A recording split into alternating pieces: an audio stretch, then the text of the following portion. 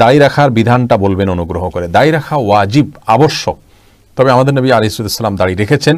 সেজন্য তিনি করেছেন সেই হিসাবে তার অনুকরণে করা এটাকে অনকুলাম একরাম সুন্না বলেছেন তার অনুকরণার্থে, কিন্তু এটার মূল বিধানটা হলো এটা আবশ্যক বা ওয়াজিব। দাড়ির বিষয়ে নির্দেশনা হলো আফুল্লুহা আর খুল্লুহা অর্থাৎ দাড়িকে তোমরা ছেড়ে দাও, লম্বা করো। আব্দুল ইবনে অমরাদুল্লাহ তালাহু থেকে একটি হাদিস পাওয়া যায় সহি বুখারিতে। তিনি এক মুষ্ঠির পরে দাড়ি অতিরিক্ত যে অংশ ছিল, সেটা কেটেছেন। কেউ চাইলে সেটা করতে পারেন, যদি এটা নিয়ে কোনো কোনো লামাইক্রামের দ্বিমত রয়েছে। কিন্তু দাড়ি লম্বা করতে হবে। তরুণ এবং আমাদের যুবক ভাইদের মধ্যে দাড়ি রাখার প্রবণতা এবং পরিমাণ খুবই কম। অনেক তরুণ এবং অনেক যুবক ভাইরা আছেন, বন্ধুরা আছেন, যারা নামাজ কালাম পড়েন, ইসলামের অনেক কিছু মানার চেষ্টা করেন, কিন্তু দাড়িটা রাখেন না। কেন রাখেন না?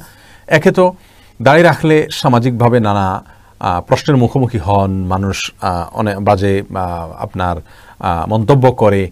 অনেক সময় সেগুলো দায়ী রাখা, রাখা- রাখলে অনেকে হয়তো ভালো মেয়ে পাবেন না, এরকম আশঙ্কা থেকে দায়ী রাখেন না। আরও অনেক চিন্তা আছে, চাকরি পাবেন না। এ সমস্ত চিন্তা থেকে অনেক যুবক ভাইরা দায়ী রাখেন না। প্রিয় দর্শক, আজ করোনা ভাইরাসের যে পরিস্থিতি আছে, এই পরিস্থিতিতে আমরা প্রত্যেকেই ফিল করছি যে মৃত্যু আমাদের প্রত্যেকের জন্য অপেক্ষা করছে এবং আমরা যে কোনো মুহূর্তে মৃত্যুর কোলে ঢলে পড়তে পারি। এরকম পরিস্থিতিতে এসে এই পৃথিবীর বাস্তবতাটা আমাদের খুব ভালো করে অনুভব করার কথা। প্রিয় দর্শক, আপনি বৃদ্ধ হবেন, তারপরে দায়ী রাখবেন। এই গ্যারান্টি আপনাকে কে দিয়েছে? পৃথিবীতে কত যুবক তারা এরকম স্বপ্ন দেখেছিলেন যে তারা বৃদ্ধ হয়ে দায় রাখবেন, সুন্দর করে ইসলামের অনুসারী হয়ে যাবেন, কিন্তু আল্লাহ তালা তার আগে তাদেরকে নিয়ে গেছেন। অতএব আর দেরি নয়, এক্ষুনি এ অবস্থা থেকেই একজন মুসলমানের জন্য ওয়াজিব, আবশ্যক হলো দাড়ি রেখে দেওয়া।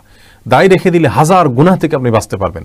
আপনি দায় রাখার কারণে যদি দুনিয়ার কোনো ক্ষতি হয়, তাহলে তো আপনার আখেরাতের একটা বিশাল বড় অর্জন হয়ে গেল।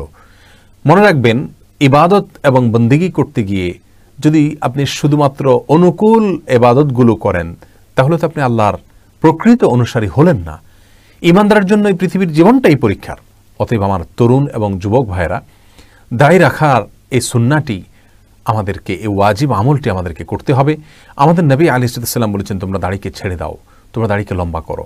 তার নির্দেশকে লঙ্ঘন করার দুঃসাহস দেখিয়ে আমরা আল্লাহর সামনে দাঁড়াতে পারব না। অতএব আমরা কে না চাই যে আমাদের প্রিয় নবীজির মতো আমাদের মুখটা, চেহারাটা থাকুক। আমরা সেভাবে কি আমাদের ময়দানে উঠি, আমরা তার সামনে হাজির হই, আমরা আল্লাহর সামনে হাজিরা দিই। অতএব কোনো কাল বিলম্ব নয়। বরং তরুণ বয়স থেকেই দায় রাখার চেষ্টা করতে হবে।